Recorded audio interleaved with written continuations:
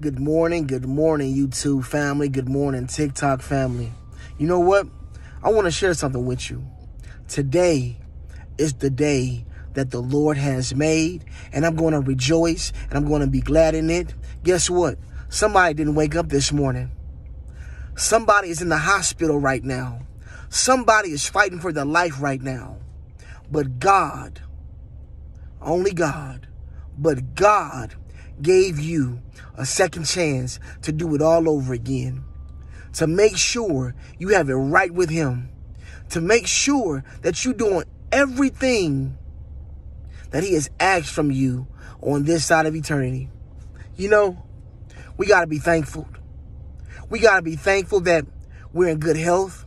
We got to be thankful that we serve a good God. We have to be thankful for the things that we already have. We have to be thankful that we serve a God of second chances.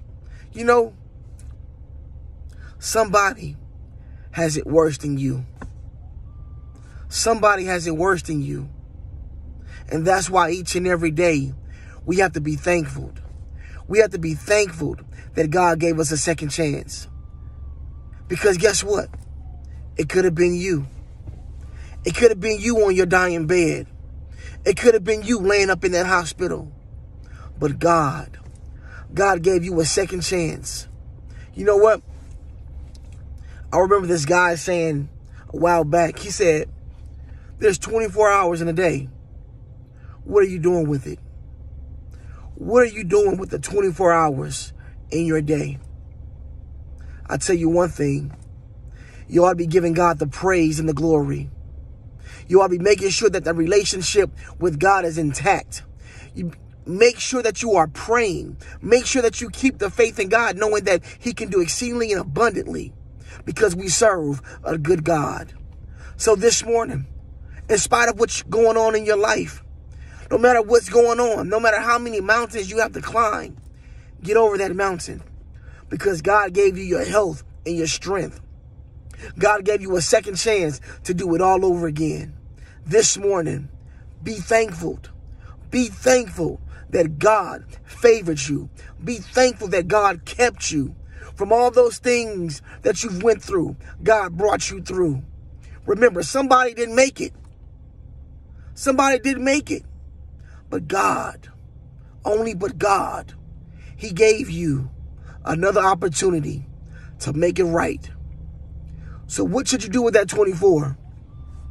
Make sure you got it right with the Father. Repent. Turn away from your, your, your, your, sinful ways, your wicked ways. Give it to the Lord because he gave it to you. Not only when he sent his son, but when he woke you up this morning. Give it to God because he gave it to you.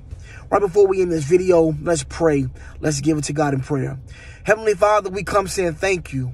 Thank you for this day. Thank you for this opportunity. Father God, I ask right now that you touch the very individual that is watching this video under the sound of my voice. Father God, I ask right now that you deliver, that you heal. Lord God, that you order their steps. Lord God, that you show them the way. Lord God, we thank you for a second chance.